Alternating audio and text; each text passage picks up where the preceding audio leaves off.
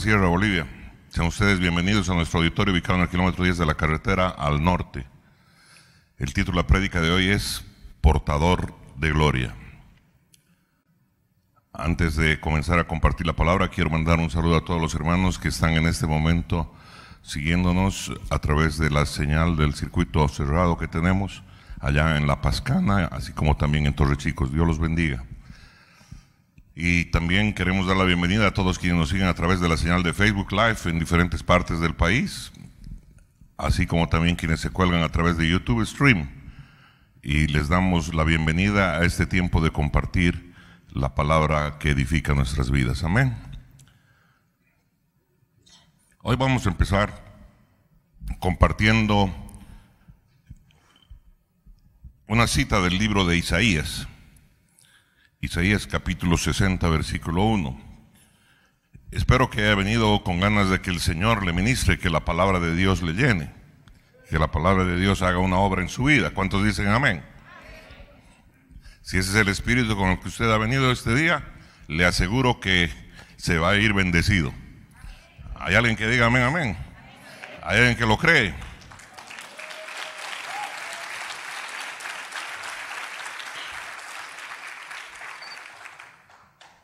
Vino usted al lugar correcto.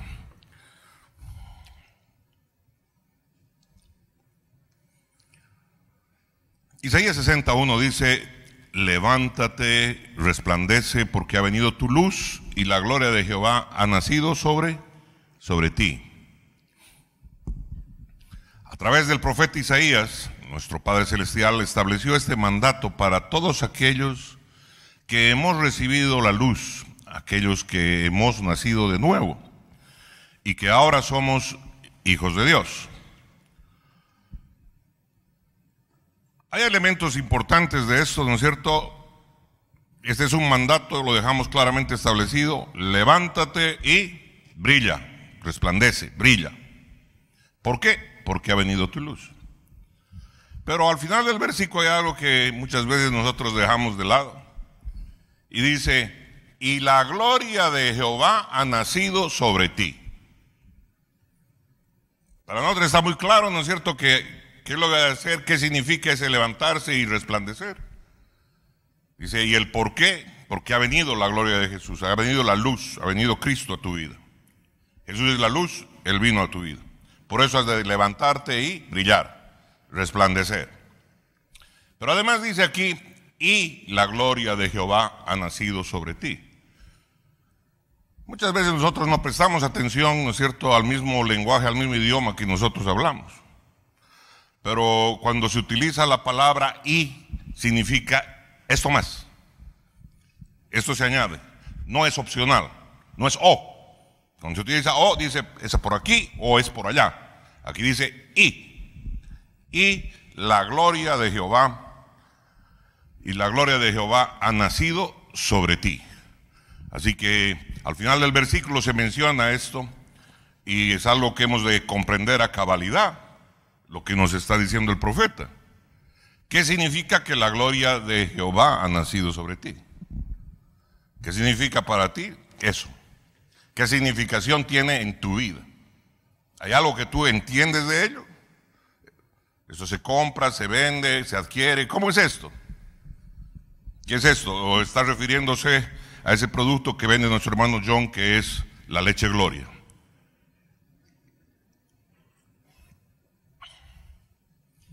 El creyente, el cristiano, no solo el cristiano,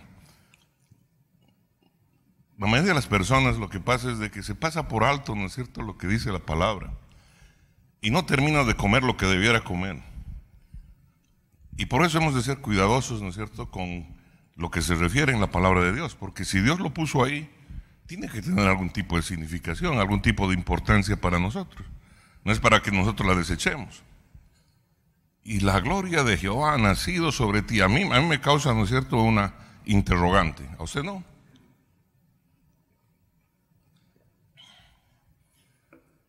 Pues hoy día vamos a tratar de develarlo. Levántate y resplandece, mandato de nuestro Señor, porque ha venido tu luz Entonces, hoy en día la cuestión radica en si vamos a obedecer el mandato divino de levantarnos y resplandecer o no lo vamos a hacer. Ahí empieza el tema. ¿Vamos a obedecer el mandato de Dios de levantarnos y resplandecer o no lo vamos a hacer? Y eso tiene que ver con el asunto de ser glorioso o no. Dado que la palabra profética dice que la gloria de Dios ha venido sobre ti. Si tú has nacido de nuevo, esa gloria ha venido sobre ti. Eso es lo que dice el profeta.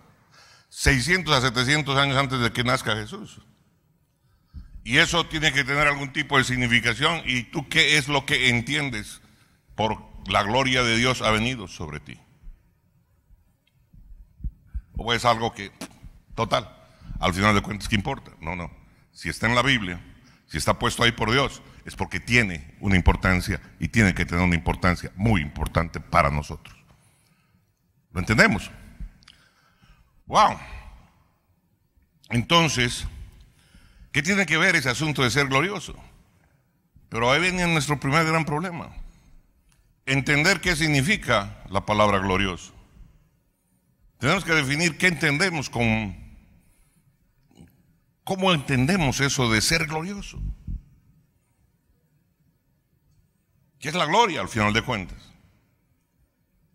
Gloria, faltas en el aire, gloria. Podemos acudir al diccionario Larousse, al mataburros tradicional, o podemos irnos, ¿no es cierto?, al, al diccionario bíblico, al que nos da el sentido bíblico de la palabra. Entonces hemos de ver qué cosa utilizamos nosotros para estandarizar lo que comprendemos como gloria o glorioso. Y gloria es una persona digna, una persona que ha sobresalido en virtudes o conocimiento o merecimientos, perdón, y que es merecedora de recibir alabanza, encomio, aclamación y felicitación. En ese marco es en el marco en el que voy a desarrollar lo que voy a hablar. Porque si no lo defino, entonces usted puede entender una cosa y yo entiendo otra. Hemos de aprender a utilizar el lenguaje, el idioma, como realmente corresponde. hemos de ponerlo en el marco que corresponde para que así podamos entendernos. Porque si no, no es cierto, entendemos las cosas de una manera equivocada. Y cuando entendemos de una manera equivocada, actuamos de manera equivocada. Porque actuamos conforme a lo que hay en nuestra cabeza. Lo increíble de esto, ¿no es cierto?, es que para muchos creyentes el hecho de ser glorioso equivale a ser orgullosos. Ah, míralo pues a este. Bueno, mira a ver. Dicen, ¿no es cierto?, la gloria de Dios va a venir sobre ellos. Y yo siempre dije, estos creídos, ¿no? Así son estos cuates. Para mucha gente, el ser orgulloso equivale a ello. Mientras que para otros, no, pues para otros creyentes, pues son ideas ridículas, ¿no es cierto? ¿Qué les pasa a eso? Hay cosas más importantes, ¿no es cierto? Que es de glorioso, ¿no es cierto? ¿En qué siempre me va a ayudar? ¿En qué siempre me va, a cambiar, va a mejorar mi vida? ¿Qué? No, no, pues es ridículo eso, no es andarse preocupando de ese tipo de cosas. Pero si Dios lo puso en la Biblia, no es ridículo. Si Dios lo puso ahí, porque hay un motivo. Y debe ser comprendido por los creyentes. ¿Cuántos dicen amén? Ya ser comprendido en la verdadera dimensión de lo que nos está diciendo, en el verdadero sentido del que está puesto en la palabra de Dios. Para los más, ¿qué es? Es una idea increíble, una idea inalcanzable, una idea reservada para seres superiores. Entonces no me preocupo de ello porque como yo soy normalito, subdesarrollado, etcétera, entonces no es para, no es para mí es para otro tipo de cosas, para otro tipo de seres. Entonces, ante este tipo de, de, aspecto hay muchas posiciones en base a qué tenemos en la cabeza y qué hemos aprendido de lo que dice la palabra de Dios al respecto. Porque en este momento estoy hablando de creyentes. Entonces, yo creo que esta palabra, ¿no es cierto?, tiene algo que ver porque hay que comprender que el enemigo utiliza cierto tipo de tácticas en nuestro andar. Y una de las tácticas que vemos que en la cual tiene mucho éxito es cuando nosotros tenemos un concepto, un concepto peyorativo de lo que nosotros somos. Y entonces yo creo que Dios puso esto para que quede muy claro ahí, porque hay que comprender algo que va a evitar que tengamos ese complejo de gusano con el que le encanta a la gente identificarse. Por eso tienen, ¿cierto? Soy pobrecito, necesito ayuda, extiendo mi mano, tengo la mentalidad de mendigo. ¿Por qué? Porque tenemos un concepto vago de lo que somos. Tan simple como eso. Porque cuando tú no tienes ese tipo de concepto, tú te paras por ti mismo y generas lo que tienes que generar y avanzas en la vida victorioso. ¿Cuántos dicen amén? Pero cuando estás en el esquema, ¿no es cierto?, del demandante, entonces vives demandando todo. Lo que tienes derecho y lo que no tienes derecho y lo que piensas que tienes derecho.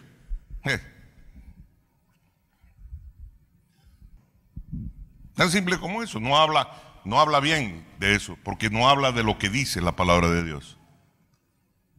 Complejo de gusano, con la cual le digo, la gente le encanta estar identificado. Y es porque no ha entendido, ¿no es cierto? que el ser humano detenta una gloria particular. Una gloria particular, la cual ha sido transmitida por nuestro Creador. ¡Wow! ¿Y usted por qué se atreve a decir eso, pastor? Muy simple. Porque la Biblia dice que hemos sido hechos a imagen y semejanza de Dios. Si hemos sido hechos a imagen y semejanza de Dios, He sido hecho imagen y semejanza de mi Padre, y mi, mi, Padre es portador de gloria, entonces he sido diseñado para ser portador de la misma gloria. Hay alguien que diga amén. Alábele al que vive. Alábele, alábele.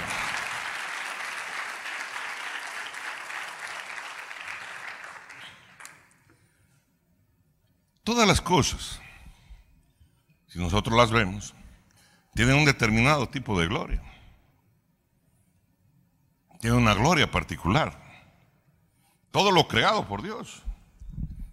Yo recuerdo mis primeros, en mis primeros tiempos cuando pasaba todos los días por el canal Cotoca, especialmente en un mes como este, en el mes de abril, cuando florecen esas ceibas preciosas, ¿no es cierto? Los árboles borrachos, los árboles panzoncitos, llamados toborochi mis ojos se llenaban de la bendición de Dios.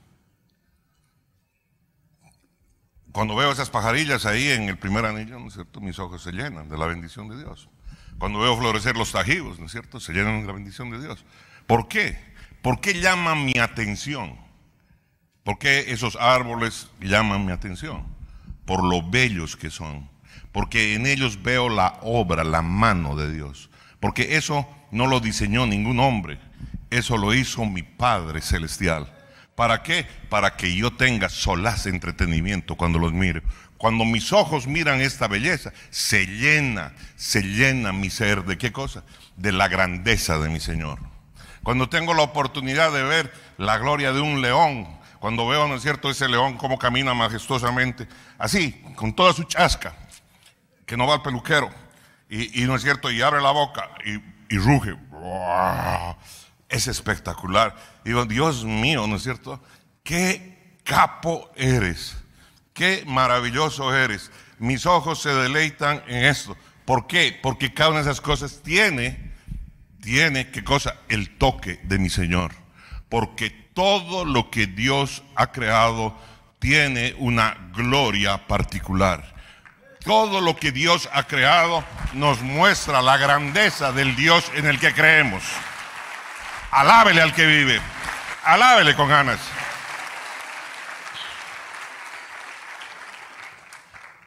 Amén.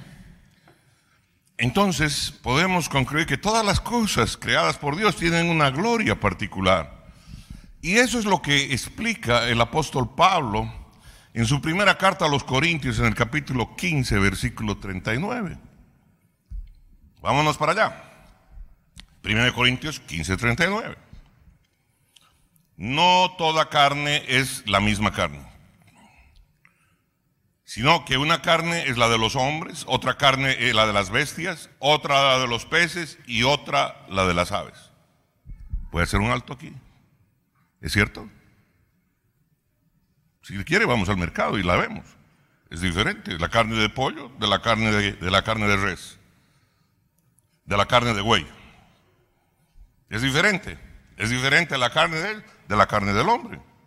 La palabra está muy clara. El apóstol está mostrando con total claridad que existe una diferencia entre esos tipos de carne. Pero ojo, a todas se les dice carne.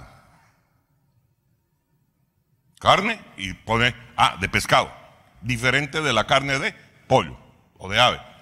Sí, pero todas son carne. No por ser todas las iguales, no por ser todas tener la misma denominación de carne, no todas son iguales. Él dice, ah, ah, son diferentes. Y nosotros podemos apreciar que son diferentes. ¿Hay alguien que diga amén? Qué interesante. Mucho, muy bueno. Versículo 40.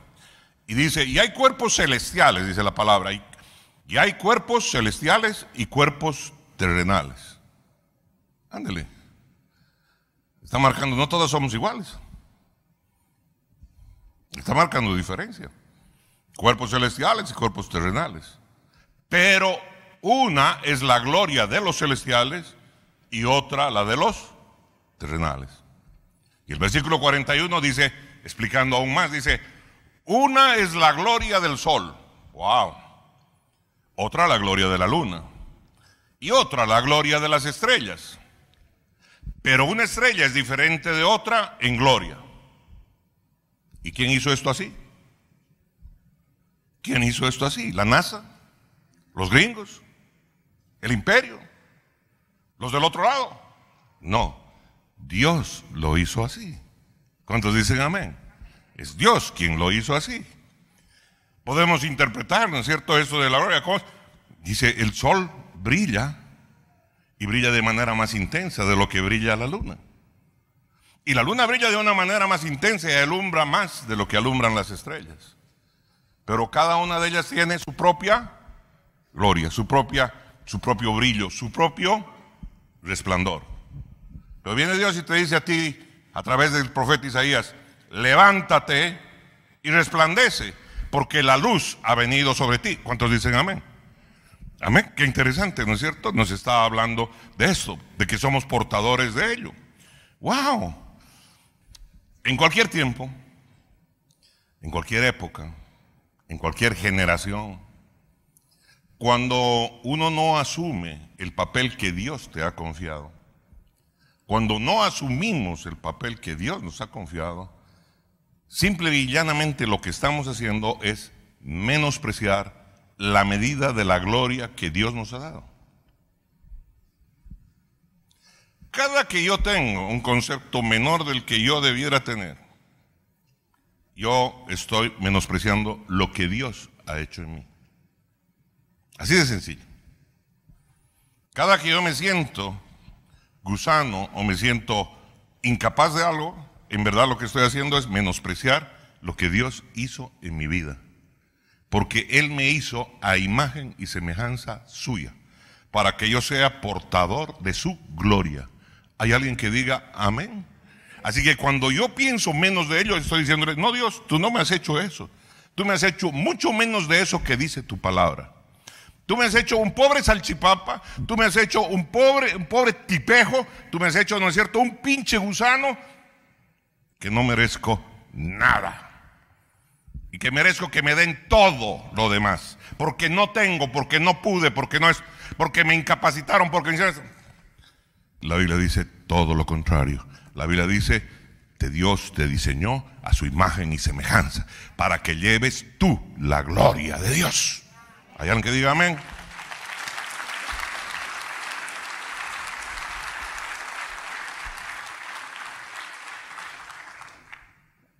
¿Cuán importante es eso? Súper importante.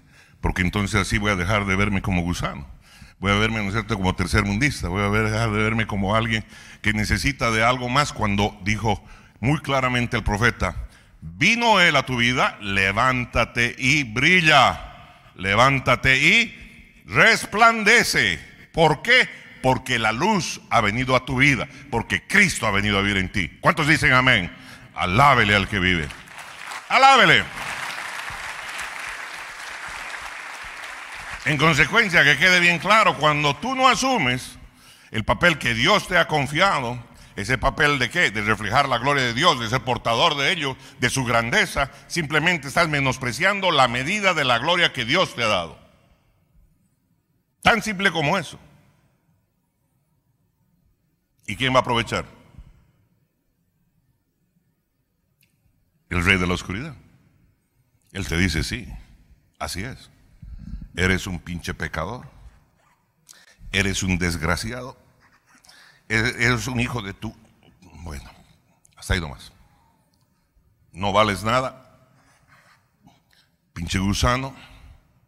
Estro. Ah, no, hasta ahí nomás. ¿Hay alguien que dígame? Wow. Si actuamos con pequeñez en la vida, lo que realmente estamos haciendo es restringir la medida de la gloria que tenemos y somos capaces de dar a Dios. Eso es lo que verdaderamente está sucediendo. Cuando actuamos con pequeñez en la vida. ¿Por qué? Porque Dios nos ha diseñado a su imagen y semejanza. Y como piensa mi Dios, mi Dios piensa en grande. Mi Dios piensa en maravillas. Mi Dios es todopoderoso. Mi Dios es maravilloso. Mi Dios no es yesca. Mi Dios no es enfermo. Mi Dios no es mendigo. Mi Dios es un rey. Hay alguien que diga amén, amén. Alábele al que vive. Y no solo es un rey, es rey de reyes y señor de señores. Alábele con ganas. Alábele, alábele. Entonces, cuando nosotros pensamos que somos insignificantes, nuestra capacidad para dar gloria termina siendo reducida a la mínima expresión. ¿Por qué? Por eso simple. Porque en mi cabeza pienso que soy insignificante. Cuando Dios me ha creado con otro propósito. ¿De quién es el ataque? ¿Quién aprovecha del tema? ¿A quién le conviene? ¿Que me siente insignificante? ¿A Dios o al diablo? Al diablo y a sus hijos. Así que nuestra capacidad queda reducida a la mínima expresión. Por ello es tan importante tener la certeza de quiénes somos. Y pregunto hoy día, ¿quiénes somos? A ver, ¿hay alguien que me pueda aquí decir quiénes somos? Pero ¿y qué yo decía? O sea, parecen unos hijos bien flacos, bien famélicos, bien poquitos. ¿Qué somos? Gríteme. ¿Les da vergüenza? Entonces gríteme fui fuerte, pues. ¿Qué somos? Alábele al que vive. Alábele, alábele. Es importante por ello tener la certeza de quiénes somos y darle la correcta significación a nuestra vida a partir de nuestra identidad. Porque si yo no tengo mi identidad clara, entonces ando como gusano en la vida y la gente me dice que soy un gusano y entonces yo me creo que soy un gusano y funciono como gusano. Si me dicen que soy una escoria, pienso que soy una escoria y sigo funcionando como escoria. No olvide, funciono, actúo conforme lo que tengo en mi cabeza. Conforme como yo me miro, es como yo actúo. Yo me miro, yo me miro pobre, demandante, etcétera. Voy a vivir como pobre, demandante. Yo me doy cuenta de la grandeza que Dios ha puesto en mi vida y yo me vuelvo ofertante, porque tengo mucho para dar porque tengo un Cristo para dar, porque tengo un buen consejo para dar, porque tengo palabras de vida para dar, porque tengo el poder del Espíritu Santo para dar. ¿Cuántos dicen amén? No soy ningún salchipapa, porque no implica cuánta plata tengo en mi bolsillo, no implica cuántas propiedades tengo, implica lo que soy delante de mi Señor.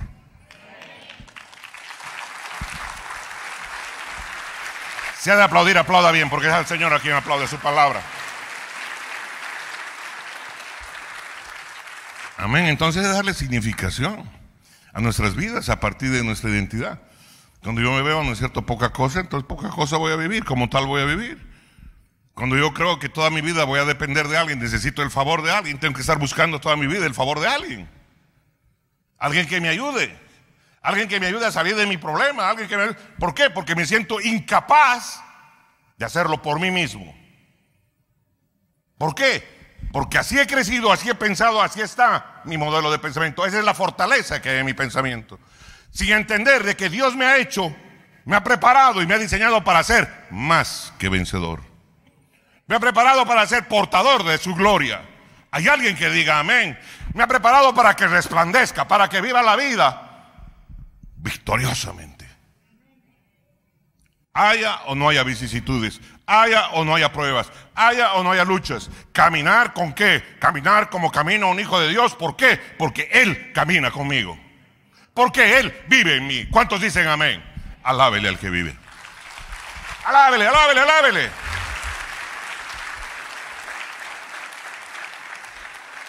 Ahora bien, mucha gente, ¿no es cierto? Tiene mucha significación en su vida, le da mucha significación a su vida. Cree que es mucho porque uh, acumuló, acumuló varios títulos profesionales. Y otro cree que es muy significativo porque eh, este, es, es, muy galán. Uh, las mujeres, ¿no es cierto?, se arrodillan delante de él. No todas, pero muchas, ¿no es cierto? Uh, cuenta como qué, sus conquistas. Otro cuenta, ¿no es cierto?, la cantidad de plata, o sea, su significación está por la cantidad de plata que ha logrado acumular. Y en muchos de los casos, y la mayoría de los casos, no importa cómo. Si fue derecha o no fue derecha, pero la plata. Y así es, o las propiedades. Y la gente piensa que la significación, mucha de la gente piensa que la significación de sus vidas tiene por esto. La significación no puede venir por ahí. La significación de tu vida tiene que tener otro tipo de origen. La significación no puede estar basada en nada en nosotros. La significación tiene que estar tampoco puede estar basada en nada de lo que nosotros podamos tener o poseer. En nada. Nuestra significación tiene que estar basada por completo en aquel que nos llamó para estar en Él. Aquel que nos dijo, ven, tocó la puerta de tu corazón y te dijo, ¿puedo pasar? Y cuando dijiste, pásale, entró a vivir en tu vida y empezó a traer luz y a transformar tu vida. Y cuando tú hiciste eso, tú también estás ahora en Él. Por eso podemos decir, mi vida está escondida en Dios. Y su costado es mi protección. ¿Hay alguien que diga amén, amén? Alábele al que vive. Ah, qué interesante. A este lado creo que aplaude menos que aquel. A ver, alábele al Señor.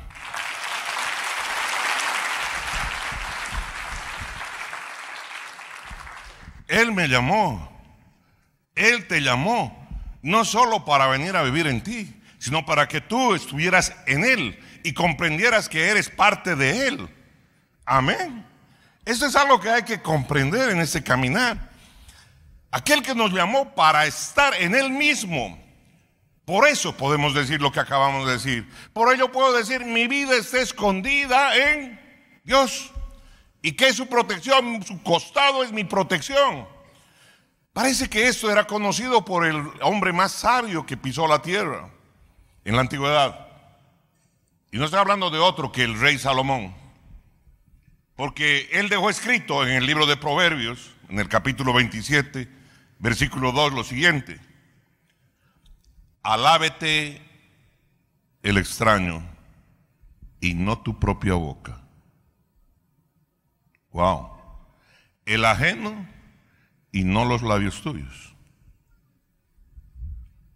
Híjole. Dios nos advierte algo aquí. Dios nos advierte contra vanagloriarnos por nosotros mismos. No, no, no, no, no.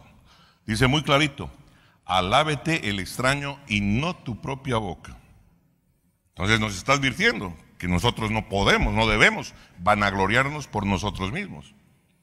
Pero a la vez nos muestra que debemos permitir que otros lo hagan. ¿O no dice así? Alábete el extraño. Claro, cuando yo tengo sentimiento de, gusano, no, no, no recibo. Cuando tengo ese pensamiento de gusano, ah, ah, ah, no, no, esto no es para mí. O cuando tengo una mala enseñanza. Pero la Biblia dice otra cosa, alábete el extraño. El ajeno y no los labios tuyos. Nos muestra que no hemos de alabarnos nosotros, que no hemos de vanagloriarnos nosotros mismos, pero hemos de permitir que otros lo hagan. ¿Y eso por qué es así, Señor? ¿Y eso por qué eh, tiene que ser de esta manera? Y eso tiene que ver con un aspecto primordial en la palabra de Dios. Porque honrar es un valor del reino de Dios. Dar honra es un valor del reino de Dios. Y eso es algo tremendamente importante. Es algo que en el reino de Dios se valora. Dar honra. Y por eso dice esta porción de la palabra que te alaban los extraños. No tú. Permite que te alaben. No te hagas el loco. Qué interesante. ¿Por qué? Porque honrar es un valor del reino de Dios.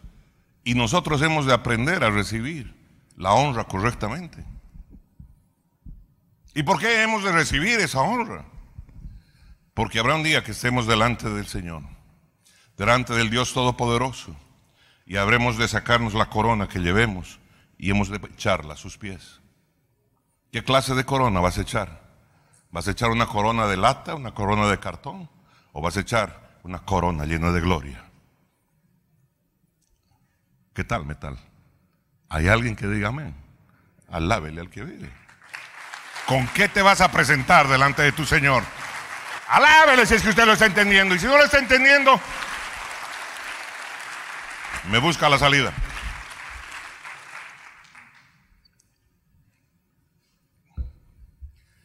Hemos de aprender por ello a recibir la honra correctamente. Para tener una hermosa, una apreciada corona que hemos de arrojar a los pies de Dios cuando llegue el momento de hacerlo. Millones de creyentes en todas las edades, muchísimos creyentes, batallan con lo que se llama la falsa humildad. Y existe la falsa humildad por un fruto de un mal entendimiento de la palabra. Así como hay gente, ¿no es cierto?, que dice, confunde lo que es pobreza con humildad. Porque es un absurdo confundir aquello.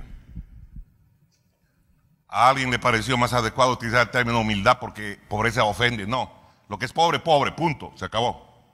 No le puedo cambiar la cosa, es completamente conceptos totalmente diferentes.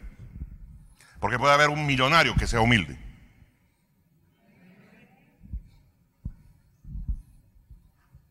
No son lo mismo, no son sinónimos. Pobreza es carencia. Humildad es grandeza. Conceptos totalmente diferentes. Pero como a algún periodista se le ocurrió algún día soltar el tema, empezó la gente a replicarlo de memoria.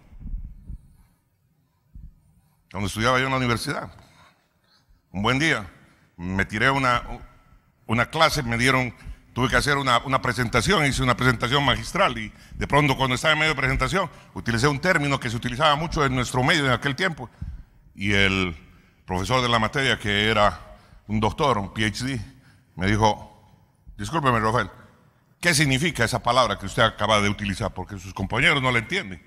Entonces, más capo todavía, dije, esto es así, así. Y agarró y me dijo, con todo respeto, le voy a sugerir que vaya y busque, después de la clase, vaya a la biblioteca y busque el diccionario, porque creo que significa otra cosa. Y cuando fui, realmente había sido lo que él decía. Y quedé completamente avergonzado delante de todos mis compañeros. ¿Y por qué? Por simplemente usar palabra que no tiene el concepto que debería tener. Entonces, de aprender a utilizar qué cosa? El lenguaje como corresponde. ¿Hay alguien que diga amén? Alábele al que vive. Porque si parto de ese equívoco, mi razonamiento después cambia y luego hago cosas que no debería hacer. Amén. Y eso es muy importante que lo tengamos presente. Porque cuando tengo un hueco en el primer paso, eso arrastra ineficiencias para el segundo y luego para el tercero y termino, ¿no es cierto?, desviadísimo de las cosas. Por eso es tan importante tener doctrina básica bien sólida. Entonces, como les decía, ¿no es cierto? Muchos creyentes batallan con la falsa humildad. Es fruto mal del mal entendimiento de la palabra. Y cuando nuestros embates contra el orgullo están mal dirigidos, es porque generalmente nuestra forma de pensar no está siendo congruente con la palabra de Dios. En ese sentido. Tan simple como ese. La falsa humildad es la forma más peligrosa de orgullo humano. Es la más peligrosa. ¿Por qué? porque a menudo es confundida con una virtud, cuando en verdad es un depredador espiritual. Y eso hay que tenerlo bien claro y bien consciente. Entonces, por eso en la palabra de Dios Él dice, ¿sabes qué? Cuando vino la luz sobre ti, vino la gloria de Dios sobre ti. No vino cualquier cosa. No eres más un chapiboy. No eres más gusano boliviano. Ahora eres hijo del rey. Ahora eres hijo o hija de Dios. Hay alguien que te diga amén. Hay alguien que está entendiendo lo que le estoy predicando.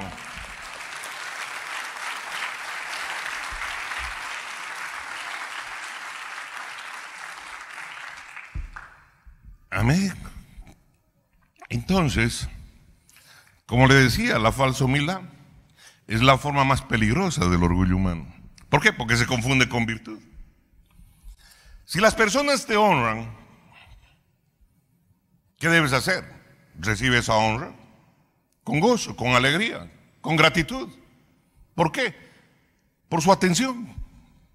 Porque no tienen necesidad de hacerlo. Y lo están haciendo, ¿no es cierto?, como una muestra de qué? De afecto, de, respeto, de gentileza. Acéptalo. Y cuando estés a solas con tu Señor, en tu tiempo de oración, en tu tiempo de meditación, dile a tu Señor, cuéntale la honra que te dieron. Y entrégasela a Él. Y entrégasela a Él. Y dile, Señor, date cuenta que eso no me pertenece a mí. No hay duda a quién le pertenece. Porque la inteligencia que tú me diste me ha permitido hacer esto. La habilidad que tú me diste para hacer este tipo de trabajos viene de ti. Porque todo lo que tú hiciste para que yo aprendiese a hacer lo que hoy día hago, proviene de ti.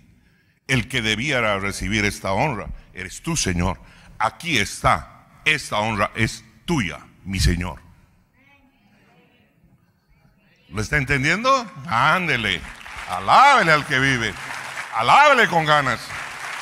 Porque dígame, el trabajo que usted hace, si lo hace bien y lo hace en excelencia, ¿por qué lo hace así?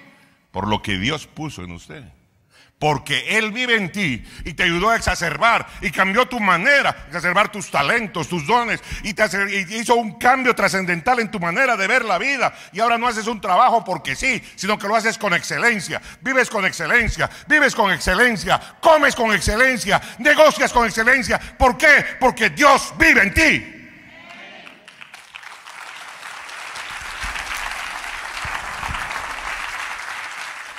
Si va a lavar, alábele, porque esa es la ley, la él, la él, la él, la él, la él, la él, la él. Él es, él es, de él es la palabra, de él es la honra, alábele, alábele. Entonces es por eso que ha de entregarle la honra a mi Señor. Es por eso que he de decirle, esto es tuyo.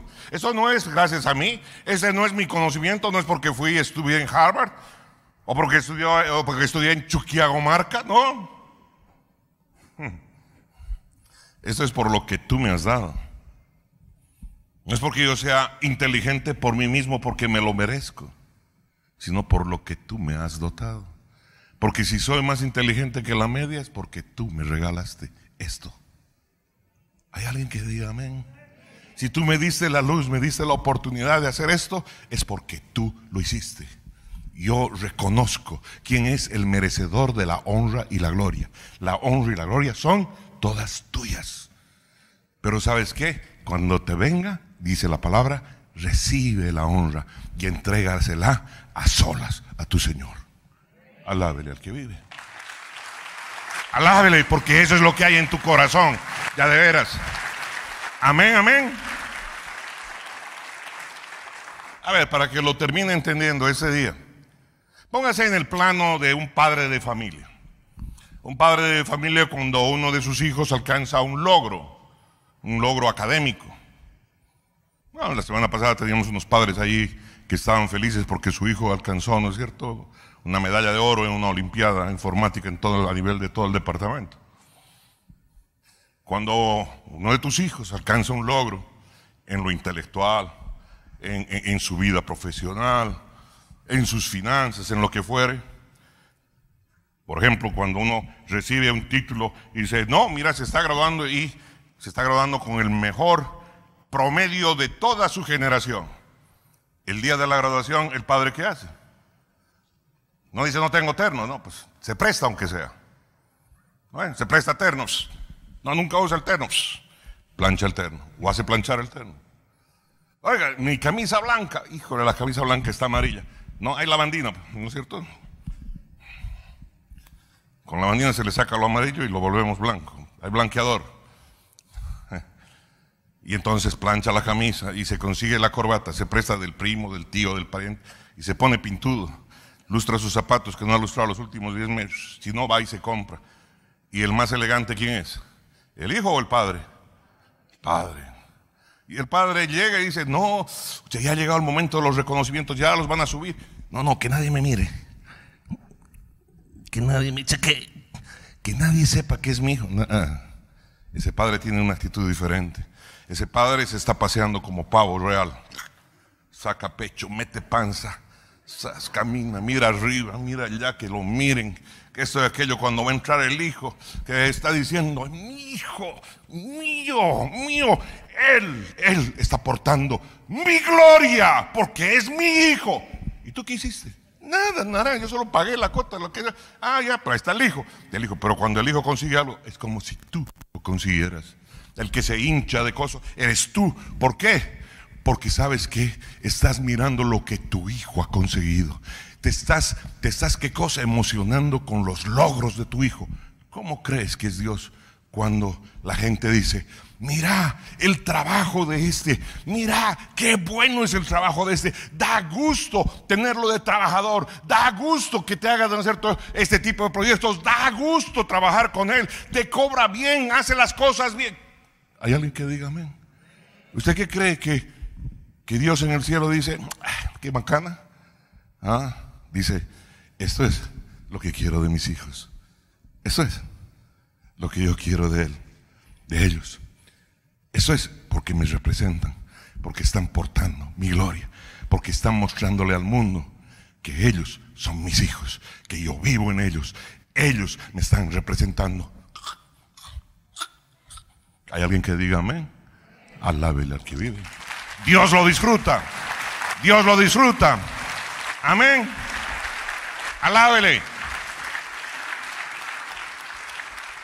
Le aseguro que Dios lo disfruta como lo disfrutas tú en tu calidad de padre. ¿Por qué? Porque ellas, esos logros, esa honra, afirman nuestra significación y nuestro destino eterno. ¿Acaso no vivimos anticipo de la gloria de Dios en este mundo? ¿Acaso no vivimos ello? Eh. Hay que entender, ¿no es cierto? No, no viene por parciales, no viene por porciones. Estoy viviendo el anticipo de la gloria de mi Señor. Lo que iré a vivir allá en su presencia, ya empiezo a vivir aquí en la tierra. Hay alguien que diga amén. Alábele al que vive. Alábele con ganas.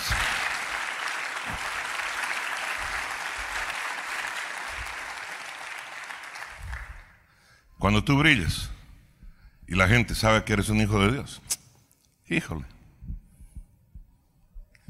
Míralo al cristianito. Como el cristianito quiero ser. Pero obviamente cuando eres agente secreto, ¿no es cierto? Y te da vergüenza. Eso sí, ojo con esto. Ojo.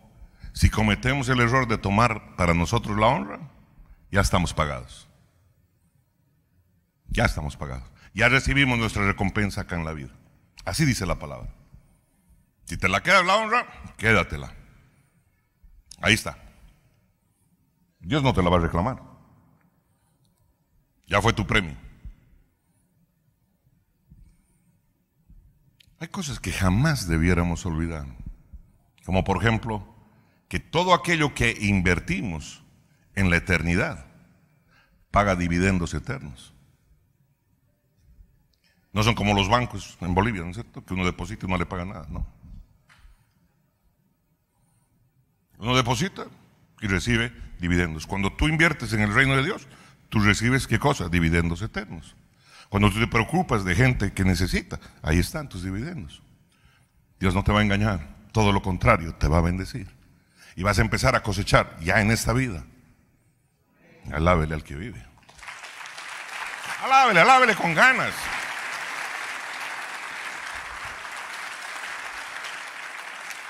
Encima de ello Jesús le puso una yapita a esto. ¿Por qué? Porque nuestro Dios es así. Nuestro Dios siempre te da en abundancia. No, no en abundancia, en sobreabundancia. Ya viene el concepto de la yapa, ¿no ve? La yapa, la casera, ¿no? Que te dice, ay, llévate esto más.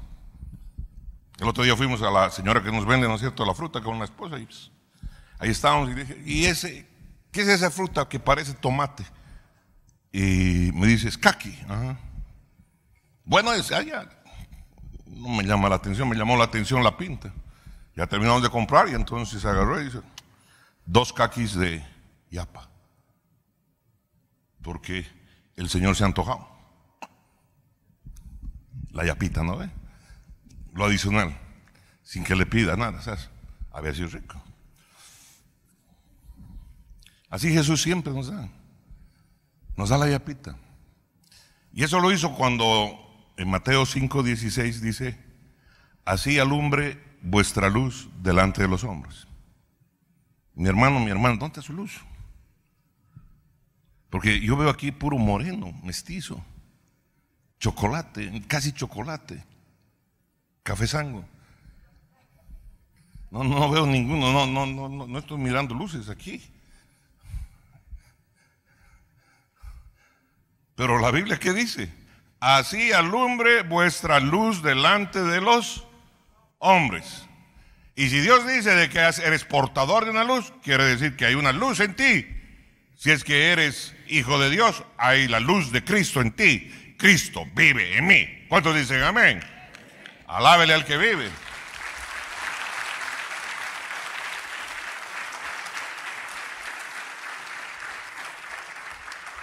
Así alumbre vuestra luz delante de los hombres. ¿Para qué? Para que vean vuestras buenas obras. No para que estén ocultas, para que vean las buenas obras y glorifiquen a vuestro Padre que está en los cielos.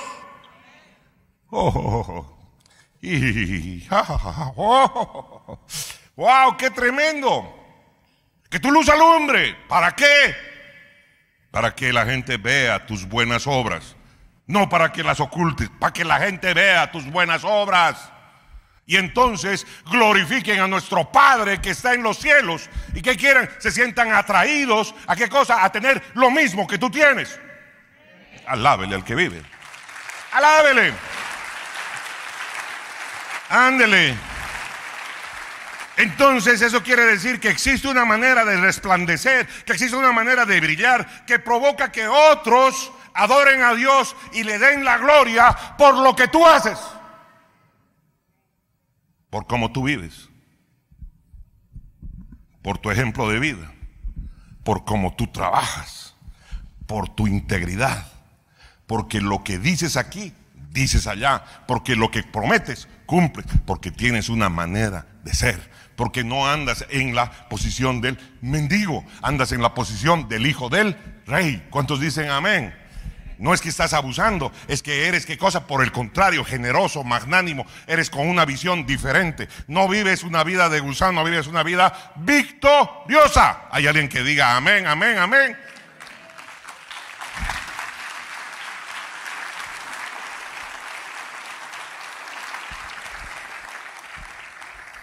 Wow, entonces hay una manera de brillar, una manera de resplandecer, que hace que otros ah, se interroguen.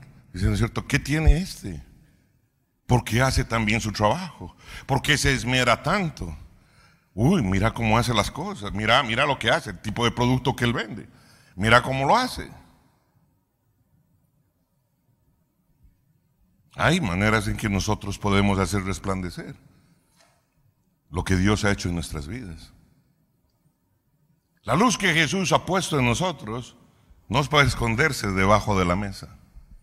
Porque si en verdad eres portador de luz, es para que se ponga alto arriba y la gente pueda verlo. ¿Y sirva para qué? Para iluminar. No es para que esté escondida, es para que sea expuesta en un lugar alto y visible. Así otros puedan verla. Así otros se sientan atraídos hacia Dios por causa del resplandor que produce en nuestras vidas. Porque la gente que te conoce dirá, este era un borracho, este era un mal hablado, este era un desgraciado, este era un abusivo, este era así, asá. Pero vino Cristo a su vida y mira cómo ha cambiado. Mira la clase de hombre, mira la clase de mujer que es hoy día, mira la clase de profesional que es ahora, mira esto. Y entonces estás levantado, brillando, para hacer brillar el nombre de tu Señor. ¿Hay alguien que diga amén?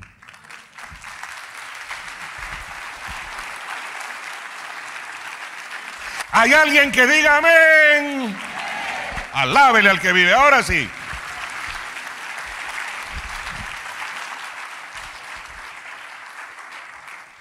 Ahí donde está. Señor poderoso. Tu palabra enseña que no debe tener un concepto más alto del que yo tenga que tener acerca de mí. Pero también tú dices en tu palabra, Señor, que no he de vanagloriarme de aprender a recibir la honra que me quieran traer porque porque de traer, Señora, a tus pies. Toda la honra, no he de caminar ni vivir con falso orgullo. He de ser un hombre en la medida de lo que tú me has diseñado, porque he sido hecho a tu imagen y semejanza. Porque mi prójimo ha sido diseñado a tu imagen y semejanza para poder portar tu gloria. No he de menospreciar a mi prójimo. No es que necesite leyes más severas o castigos más grandes por este tipo de cosas. Todo lo contrario, Señor. Lo que te necesito es a ti. Te necesito a ti, mi Dios, mi Rey, mi Señor, mi Hacedor, mi Guardador. El único que puede cambiar las vidas. El único que puede transformar mi manera de ver, mi manera de hacer las cosas. He de reflejarte, Señor, porque vives en mí tu luz, tu luz alumbre mi vida y sea yo portador de ella y la haga resplandecer donde quiera que trabaje, donde quiera que viva, donde quiera que ande, donde quiera que haga lo que tenga que hacer, el negocio que tenga que hacer, sea yo portador de tu luz. De manera tal que la gloria pueda yo entregártela a ti, Señor. Porque para eso me has diseñado a tu imagen y semejanza. Te doy gracias, Señor, por el privilegio de caminar contigo.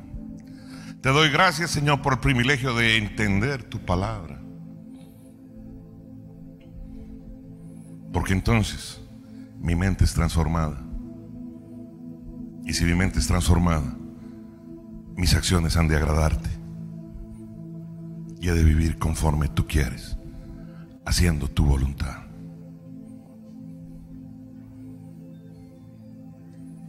Que te alaben los montes, los valles, que te alaben la tierra y el mar Levante sus manitos.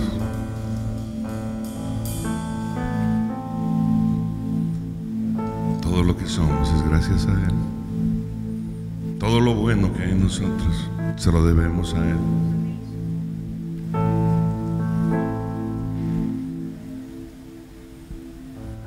Qué privilegio tan grande entender que somos hechos a imagen y semejanza de Dios para que podamos reflejar la gloria de mi Señor. Donde quiera que andemos,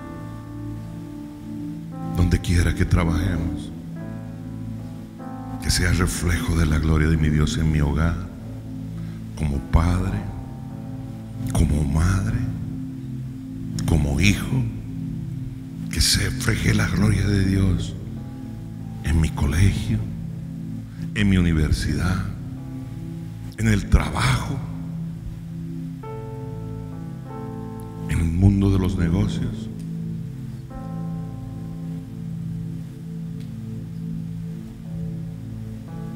Que mi entrada y mi salida estén acompañadas del Dios Todopoderoso.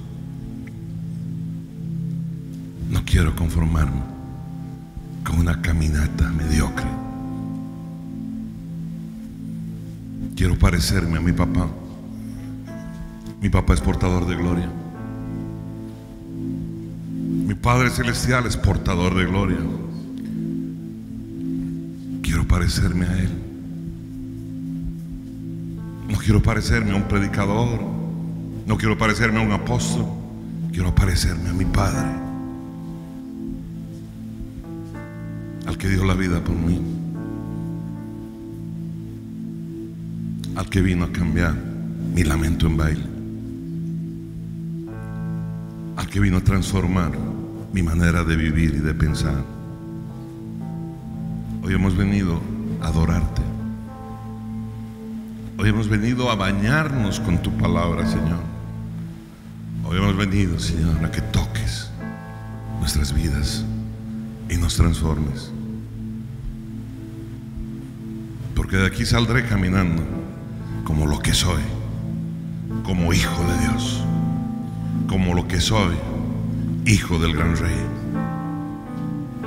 No tendré mayor opinión de mí de la que debo tener, pero nunca jamás me miraré como un gusano,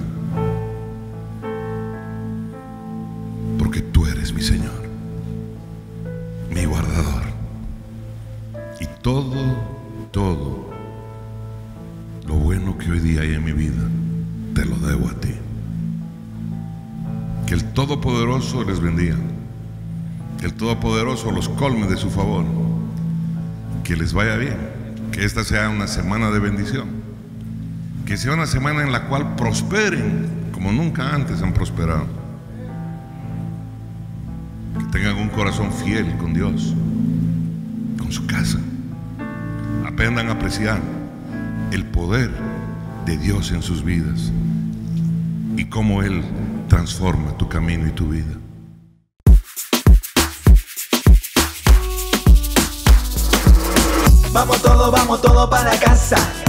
Fuerte, torre fuerte en mi casa. Vamos todo, vamos todo para casa. Torre fuerte, torre fuerte en mi casa.